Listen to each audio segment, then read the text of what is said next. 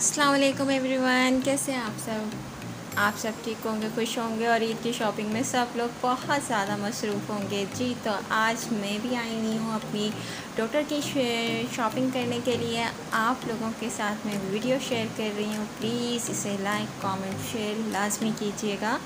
जी तो हम आ, देख रहे हैं आयत के ड्रेस वगैरह और और कुछ भी बहुत पसंद नहीं आ रहा। कुछ भी पसंद नहीं आ रहा क्योंकि हम लास्ट इश्ते में आए हैं तो ज़्यादातर तो यही कहते हैं लोग आ, आप लोग लेट आए हैं सब देख के आए लेकिन जितना भी सामान था वो देख रहे थे जितने भी ड्रेसेस वगैरह थे जो भी शॉप्स वगैरह पर सामान था वो देखते जा रहे थे जिसमें से कुछ पसंद आ रहा था कुछ नहीं आ रहा था। अब जैसे कि आगे चल के बहुत ज़्यादा गर्मी आ रही है तो इस हिसाब से फ्रॉक्स वगैरह देख रही थी, मेरी सिस्टर्स को फ्रॉक बहुत पसंद आ रही थी, आयत के लिए तो वो कह रही थी कि वो लाजमी ये वाली लेंगी और मुझे पता था कि ये बिल्कुल भी नहीं पहनेगी। तो फिर इस वजह से मैं मना कर रही थी कि नहीं, फ्रॉक में देते क्योंकि ये बिल्कुल भी नहीं कैरी करेगी। और ये ज़्यादातर शर्ट्स वगैरह में और स्कर्ट वगैरह इसने यूज़ किए हैं केपीस वगैरह यूज़ किए हैं नॉर्मल ड्रेस अप करती है किया है मैंने बेबी को ज़्यादा फ्रॉक्स वगैरह इस तरह की यूज़ नहीं करवाई जो थी वो भी ऐसे ही मतलब ले गई थी इस्तेमाल में ना आ सकी थी। फिर भी ठीक है चलता है। आ, इवेंट आते हैं इवेंट पे बच्चे अच्छे लगते हैं इस तरह के ट्रेडिशनल ड्रेसेस में सब पहनते हैं।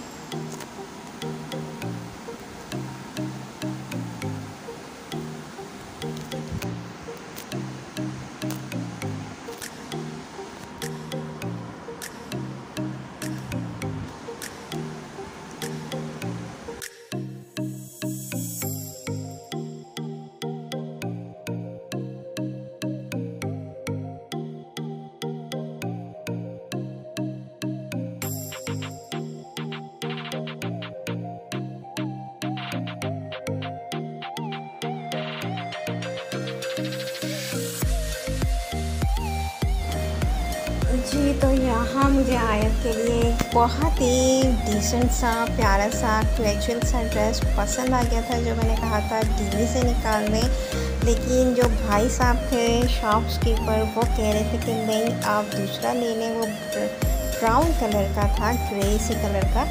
जी तो ये मुझे कलर बहुत ज़्यादा प्यारा लगा था।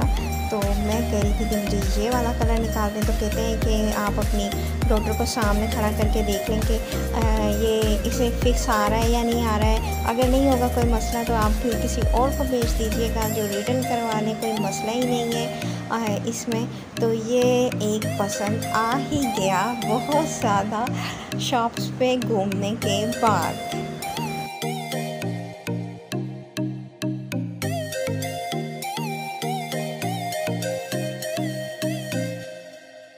हम शॉपिंग कर रहे थे आयत की और इसी दौरान मैंने काफ़ी कुछ शॉपिंग की, अपने लिए भी देखने की कोशिश की कि चलें। मुझे आयत की चीज़ें पसंद नहीं आ रही तो मैं कुछ अपनी चीज़ें देख लूँ। जी, ये भाई साहब दिखा रहे थे रोमपर आप जी रोमपर ले लें और ये कर लें। इतने सिंपल से, बिल्कुल सिंपल से और इतनी इतनी प्राइस लगाई हुई हैं इन्होंने। ऐसे लगता है कि जैसे सारी महँगाई तो रमज़ान में ही आ गई है। जैसा कि बाहर देखा जाता है कि आपको सेल दे दी जाती है सेल आउट कर दिया जाता है सारी चीज़ों को कि ताकि नॉर्मल लोग भी ख़रीद सकें। ये ख्याल करना चाहिए यहाँ के लोगों को, लेकिन क्या कह सकते हैं? जी तो हम आगे आयत के लिए चीज़ें देखने के लिए चले गए थे। यहाँ पे बहुत प्यारे प्यारे टॉयस वगैरह थे और आयत के लिए मैंने ये हेयर बैंड्स वगैरह देखे, क्योंकि इसको जो हेयर बैंड्स होती हैं, वो तो आ नहीं सकते, इसलिए तो हेड वाले जो होते हैं, जो आराम से आ जाते हैं, जो बने हुए होते हैं, वो मैंने लिए और वो मैं आप लोगों को दिखाऊँगी। मैं अलग से भी इसका एक वीडियो इसके डिज़ाइंस लगाऊँगी प्रॉपरली कि सब देख सकें कि किस तरह के डिज़ाइंस आए हैं मार्केट में। और साथ साथ इसमें काफ़ी सारी वैरायटी थी। यहाँ पे तो बहुत ज़्यादा वैरायटी थी। यहाँ पे कपड़ों की भी थी ड्रेसेस की भी थी शॉप्स यहाँ पे ज्वेलरी की भी बहुत अच्छी थी। यहाँ पे बहुत प्यारी प्यारी ज्वेलरी थी। मैंने शायद थोड़ा सा क्लिप भी लिया है आप लोगों के लिए। आप लोग देखिएगा, मुझे भी बहुत पसंद आई थी। मैंने यहाँ से एयरिंग्स वगैरह कुछ ली थी और इसके अलावा मैंने आयत की ली थी बैंड्स वगैरह। और मैं यहाँ पे देख रही थी, कुछ ड्रेसेस वगैरह भी मुझे अच्छे लगे थे। ये कंपाउंड बहुत अच्छा था, आराम से इजीली शॉपिंग करने के लिए। इस इस जगह चारों तरफ़ सारी चीज़ें काफ़ी आसानी के साथ अवेलेबल थी और काफ़ी वैरायटी थी। चाहे वो कोई भी चीज़ हो, कुछ भी हो, बहुत अच्छी वैरायटी थी।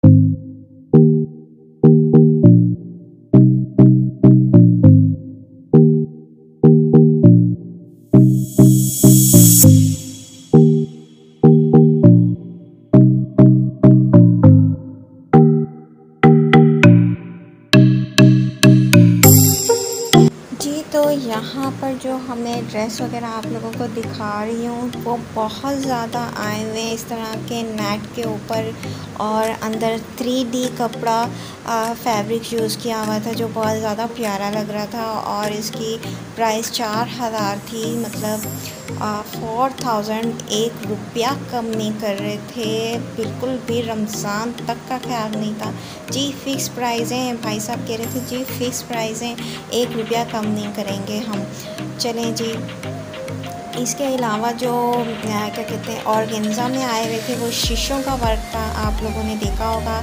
ये कि शीशों का वर्क था, इसमें पीच कलर में लाइट कलर में वाइट कलर में, ब्लैक कलर में और सुरमई इस तरह का धानी कलर में। सिर्फ़ जस्ट शीशों का काम था और इसकी प्राइस थी तकरीबन तीन हज़ार पाँच सौ रुपये जी तो अब आप देख सकते हैं कि फिर बंदा जाए तो जाए कहाँ। लेने भी है ड्रेस और ड्रेस भी इतने काफ़ी एक्सपेंसिव तो मैंने इसमें से ड्रेस एक आध पसंद किया था। क्योंकि ये सिंपल था और प्यारा था। एलिगेंट सा लग रहा था बहुत। तो इसमें से देख लिया था क्योंकि बेबी के साथ ज़्यादा कैरी करना, इतना ज़्यादा फैंसी सूट मुझे इतना ज़्यादा कंफर्टेबल फील नहीं करता। तो मैं ज़्यादा थोड़ा लाइट लाइट सा काम वाला लेती हूँ, जिसमें ज़्यादा कंफर्टेबल फील कर सकूँ। या फिर मेरे बेबी कोई और उठा ले किसी फ़ंक्शन पे तो फिर ज़्यादा होता है कि हाँ ये ड्रेस ड्रेस पहन लूँगी, मैं कर लूँगी। जी तो आगे चल रहे थे। आगे चलते मैं आपको शूज़ भी दिखाऊँगी। वो बच्चा दिखा रहा था तकरीबन पाँच सौ, साढ़े पाँच सौ रुपये प्राइस में वो लोकल शूज़ थे।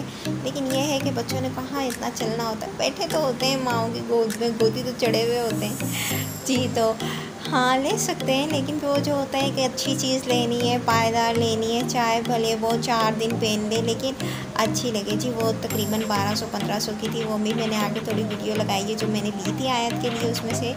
और इसके अलावा बीच में आएगी ज्वेलरी की बहुत ज़्यादा प्यारी एलिगेंट सी थी और बहुत मज़ेदार सी ज्वेलरी थी, आप देखना ना भूलिएगा।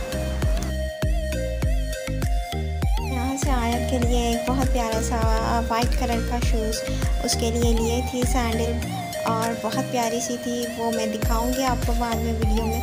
और आगे चलते हैं नेक्स्ट वीडियो में मिलेंगे। प्लीज़ अपनी बहन को अपनी दुआओं में याद रखिएगा और वीडियो पूरी वॉच कीजिएगा। अल्लाह हाफिज़।